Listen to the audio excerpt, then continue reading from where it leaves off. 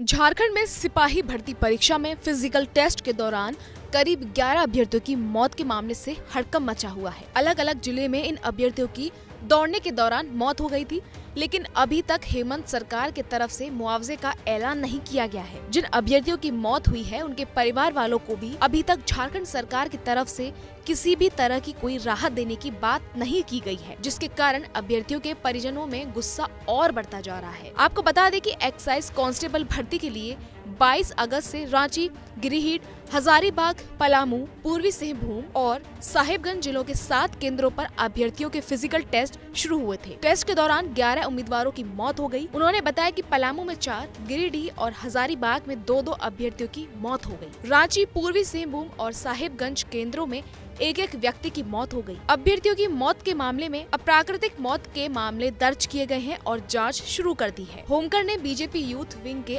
आरोपों पर सफ़ाई देते हुए कहा कि सभी केंद्रों पर चिकित्सा दल, दवाएँ, एंबुलेंस, मोबाइल शौचालय और पीने के पानी सहित पर्याप्त व्यवस्थाएँ सुनिश्चित की गई। पुलिस के अनुसार फ़िज़िकल टेस्ट के लिए 30 अगस्त तक एक लाख सत्ताईस हज़ार सात सौ बेहतर अभ्यर्थी उपस्थित हुए। उनमें से अठहत्तर हज़ार तेईस सफल हुए। वहीं हजारीबाग में अपने बेटे को खोने वाले पिता मीडिया से बात करते हुए बताते हैं कि, महेश कुमार महतो मेरा छोटा बेटा था, मेरे दो बेटे हैं, आज मेरे बेटे का क्रियाक्रम चल रहा है।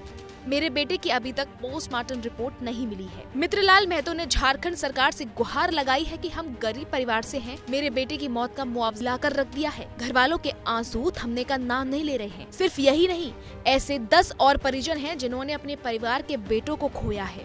और अब तक उन्हें सरकार की तरफ़ से कोई भी राहत नहीं मिली है।